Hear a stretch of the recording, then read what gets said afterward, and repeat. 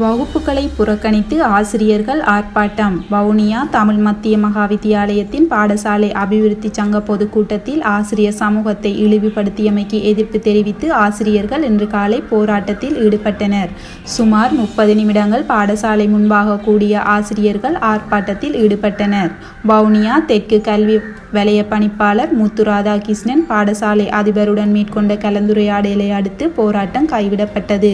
வவுனியா கலாச்சார மண்டபத்தில் நேற்று இடம்பெற்ற கூட்டத்தில் ஆசிரியர்களை இழிவுபடுத்தி கருத்துக்கள் வெளியிடப்பட்டன என தெரிவிக்கப்பட்டுள்ளது.